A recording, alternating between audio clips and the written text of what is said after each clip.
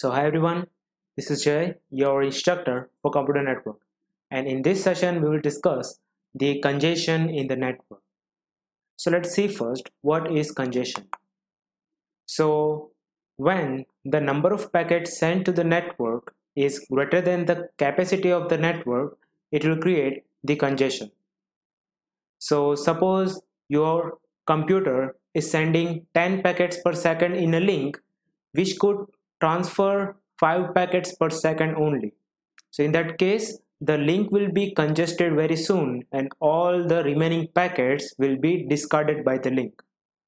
So sender should be sending packets according to the capacity of the link.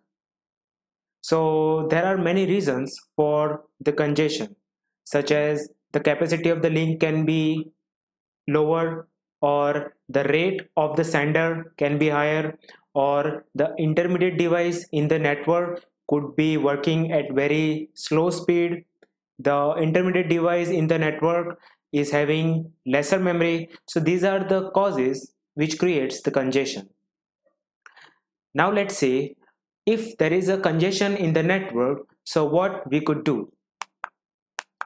So the congestion control is divided into two types the open loop congestion and the closed loop congestion. The open loop and the closed loop congestion is further divided into further types.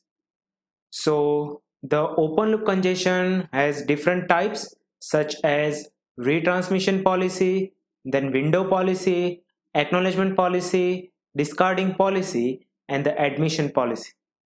And the closed loop congestion has different types such as back pressure, choke packet, implicit signaling, and explicit signaling.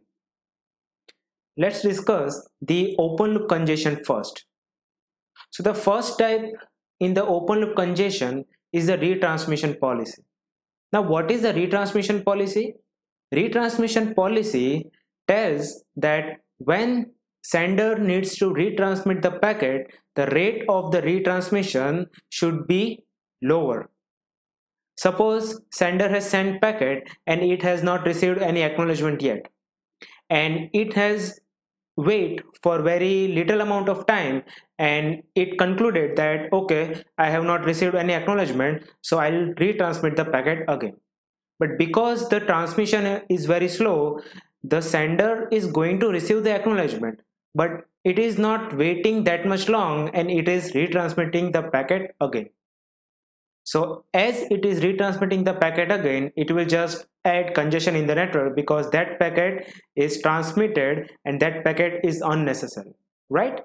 So this criteria the sender should keep in its mind that uh, it should not retransmit at very high rate. It should first wait for the acknowledgement and if acknowledgement is received or if it is not received in stimulated time, so in that case, it can retransmit the packet. The second type is the window policy. The window policy tells that the sender's window should be selected according to the capacity of the link. You know that sender could have different size of windows, right? So sender can send 4 packet in second, it can send 8 packets at a time, it can send 16 packet at a time, whatever the capacity of the sender is. But to send the packet that many packet at a time it should also consider the capacity of the link. What if the link cannot carry more than 5 packet per second or more than 5 packet at a time? So in that case the remaining packets will be dropped. So window policy tells that the sender should be sending packets according to the capacity of the link or receiver. Then there is acknowledgement policy. Now the acknowledgement can be of two types Sender can receive acknowledgement for every packet it has sent or it can receive acknowledgement for let's say uh, every 10 packets or every 5 packets. So if sender is receiving acknowledgement for every packet sent in that case in the link there will be so many packets that will be traveling to and fro between the sender and the receiver. But if sender is receiving acknowledgement for let's say per 5 packets so in that case there will be lesser number of packets which will be traveling in the link So sender can select any two of the acknowledgement. It can either select every acknowledgement for every packet sent or it can receive acknowledgement for every five packets or 10 packets and that acknowledgement is called cumulative acknowledgement. Then the next type is the discarding policy. Now what is the meaning of the discarding policy? Suppose router is receiving 10 packets and router now has to decide that which packet goes to which interface, right? That is a function of the router. But now imagine router is receiving more number of packets that is greater than its capacity. Suppose router is now receiving 50 packets and uh, now it has to decide that which packet should be forwarded to which particular link.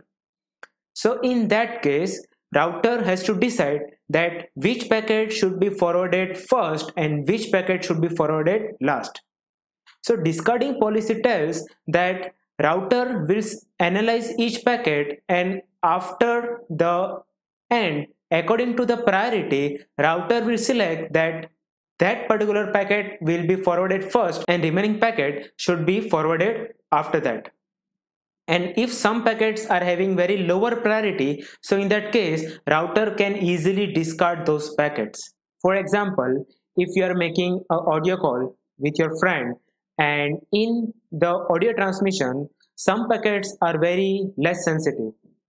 What i'm trying to say is if some packets in the audio transmission are discarded so that will not affect so much in the quality of the audio so if those packets are discarded, so there will be less congestion in the network and more packets can be delivered by other devices. So discarding policy tells that we can discard some less sensitive packets.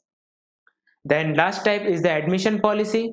Admission policy tells that router can uh, analyze packets which are having high priority and it can uh, discard some packet or it can delay some packet according to the priority. The second type of the congestion control is the closed loop congestion and let's discuss the first type in the closed loop congestion which is back pressure. So as you can see in this figure there are two devices which are communicating with each other. And there are four intermediate devices which you can see on the screen. Now suppose this each and every device is working on some particular frequency. And because the device which is colored in brown is working at very slow so it become congested very quickly so when there is a congestion in the network so that device will stop receiving any packet from the previous devices. Now when the device which is before the congested device it receives so many packets so that device also become congested so when the device 3 become congested it stop receiving packets. When device 3 stop receiving any packet the device 2 become congested because device 2 is not able to forward any packet to device 3 when device 2 become congested because 3 is not receiving so 1 become very congested. So one cannot transfer any data to device 2. And when one become congested, the sender gets to know that okay, there is a problem in the network. So sender will wait for some amount of time and after that it will send the packet. And for the next time it is sending the packet, the rate of the packet sent will be much slower. The second type is the choke packet. So in the choke packet, the only difference is that the congested device will generate a particular message and it will send to the source. So in the choke packet, you can see that the device 3 which is congested, it will not stop receiving any packets, but it will inform the sender using a special packet that I am facing congestion, please send the data at slower rate the next type is the implicit signaling. So in the implicit signaling, there is no communication between the congested node and the source. so source assumes that okay there might be a possibility that there is a congestion or there could be congestion in the network so source will send packet at very low rate or it will send packet after some time the next type is the explicit signaling in the explicit signaling, if node experiences congestion, it can explicitly send packet to the source or destination to inform about the congestion. So you might be thinking that this is exactly same as the choke packet, right? But the only difference between the explicit signaling and the choke packet is that in the explicit signaling, the signal is including in the packet that carry the data in the choke packet, separate different packet was used to inform the sender that there is a congestion. As you can see that there is a device A and host B. So in the very first time, the sender will send as many packet as it wants to send.